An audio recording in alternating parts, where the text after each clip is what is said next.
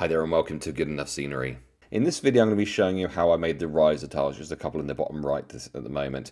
So when I first came up with this board it was really important to me that any higher areas of uh, play were actually properly playable. So the riser tiles can be used as a board edge as they're being used in this case or they can form a massive central hill. They're not the most complicated to make, but I still think they are worthwhile making, uh, and they've added a real um, element of different playability, so I'm really pleased with how they've turned out. So in this video I'm going to be showing you how I've textured them, how I've flocked them, how I've got the holes in them and everything, and how I've uh, put them together. Not the most difficult thing in the world to do, but like I said, still worthwhile doing, so this is how I did it. One of the very simplest boards to make, or tiles to make, um, to be one of the, the higher ones, so got our foam and we are going to create rocky texture across the whole thing to start it's going to roll this across. Maybe create some damage in places as well, but just trying to get this uneven rocky texture. So that is with some texture added. So what's going to happen we're going to have these on the bottom, lining it as well as we can with the edge. Then we're going to glue this on, and then we're going to glue that on, and that's going to be one. I just realised that uh, we can store some scatter rocks under there. So all we're going to do to stick this down is just use some glue, glue gun. Closely positioned first time because you don't get a huge amount of time, so lining that up as good as we can with that edge.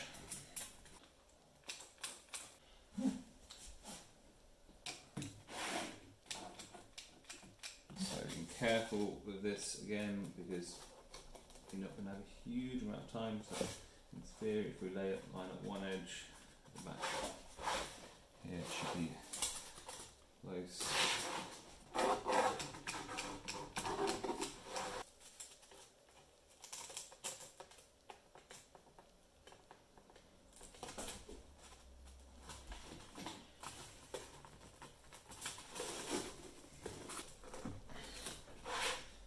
one of our higher pieces done and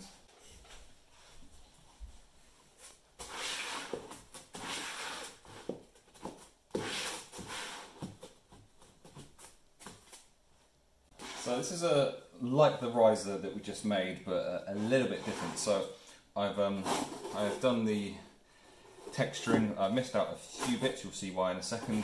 Um, and this is stuck to this, which um, I'll be lying if I said it wasn't for something else, but then I changed my mind about something or other. So anyway, uh, so what we've got is this kind of big hollow. We've got this I've just stuck um, some things to this is going to make sure that it's all the right height. So what I thought, this might work, it might be absolutely horrendous. Kind of cool if I actually cut out some chasmy type bits.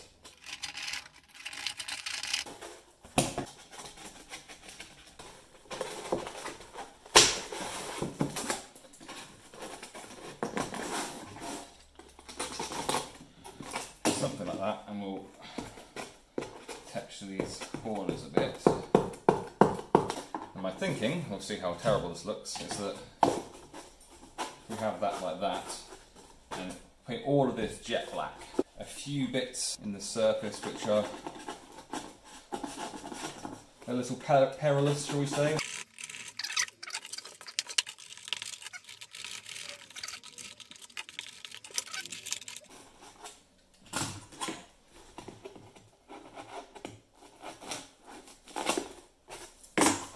Just some points of interest there.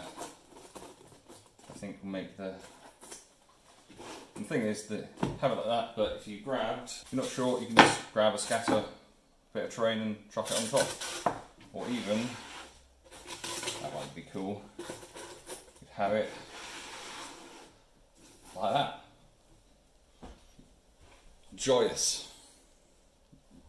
Yeah, I like the idea of really adding some some depth to that. So yeah, next up will be to paint that all completely black, which you don't really need to see me do. So this is our top piece And I think the, the black in that down there just makes a real nice sense of proper depth minerality. So we're going to do some dry brushing on the tops of these. The majority of it is going to be flocked anyway, but I still like to be complete about this. So loading up the brush, getting the excess off, and just going perpendicular so it's hitting the higher detail and leaving the higher the detail, the lighter it gets.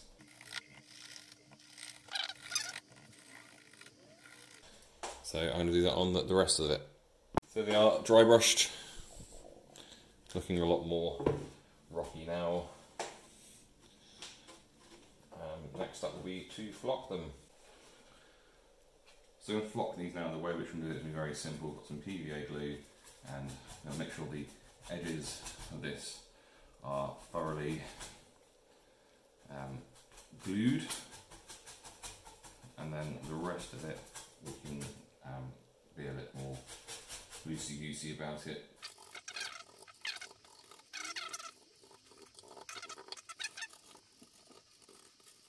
Flock here and make sure the edges are covered and then the rest of it can be loosey-goosey with.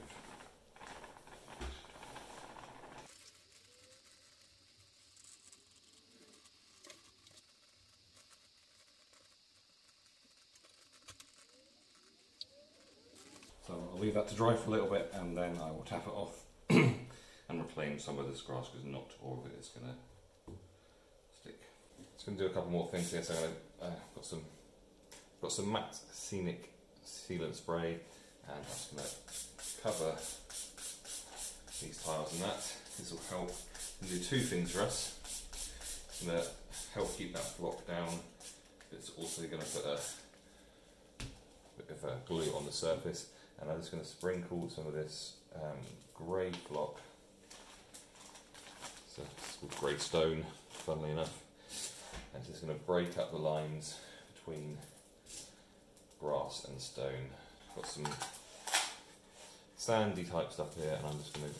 I'm not expecting this to stay as well as the flock, but just to again break up the sand bit. Um, so same over here.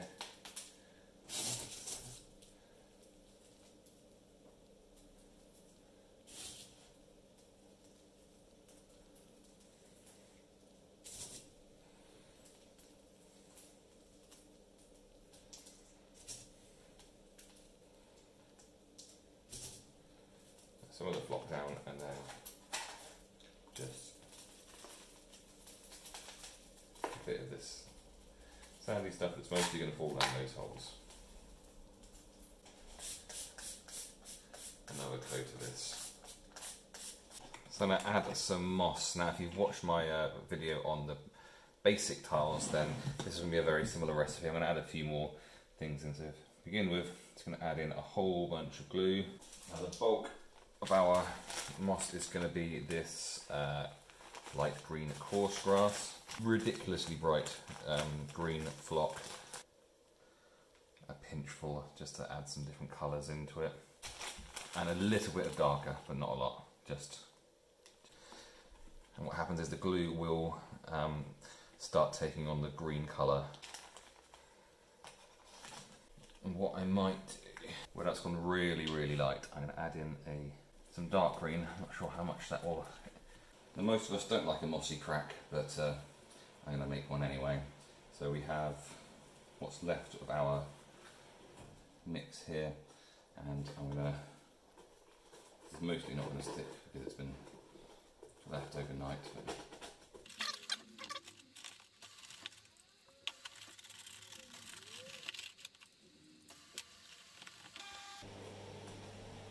Now do. And here it is uh, in its uh, completed glory. I'm really, really happy with how these turned out. I think they really add an element of play that is going to be completely different to just having a little hill because so much more can go on. It can form a central objective, it can form just a side of the board, or it just can uh, be a chasm for a model to fall down. I cannot wait for the idea of that happening. Uh, so if you've enjoyed this, then please like the video, please subscribe to the channel and hit the notification bell so you know when any new videos are released. And leave any comments, good or bad. I want to hear what you think about the Rise of Tiles, about any other things that I've put on the channel, or anything you'd like to see as well. I'll catch you for another video soon.